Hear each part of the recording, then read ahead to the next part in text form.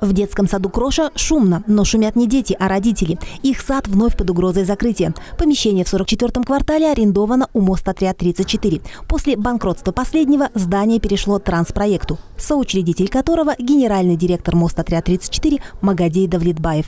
И детсад попросили на выход. Эта ситуация, она повторяется постоянно. Вот в июне она была, и у нас это с прошлого, с сентября прошлого года такая ситуация. То есть вот приходит жалоба, что нас выгоняют, получается, мы начинаем обращаться в администрацию, они вопрос урегулируют, через месяц наступает то же самое. То есть о ремонте никто не предупреждал, о ремонте вообще речи не было.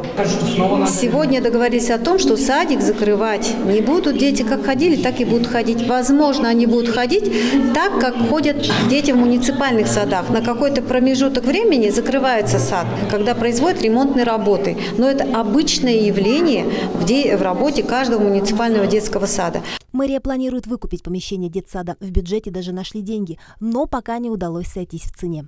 То, что администрация собирается выкупить, это, конечно, хорошо, но все сроки как бы нам тоже непонятны. Когда будет, что будет.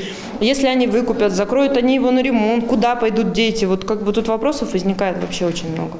Примечательно, что вся эта история с задуманным ремонтом развернулась ровно в момент отсутствия заведующей детсадом. Как бы мы боимся, что дети у нас вообще останутся на улице. Транспроект, как собственник, ну, немножко подождет для того, чтобы приедет руководитель этого частного учреждения и э, будет, наверное, у них э, какой-то цивилизованный разговор о договорных отношениях. Будут ли чувствовать себя ребятишки, пусть не хозяевами жизни, но хотя бы своего детсада, пока неизвестно. Развязка этого недетского сериала впереди.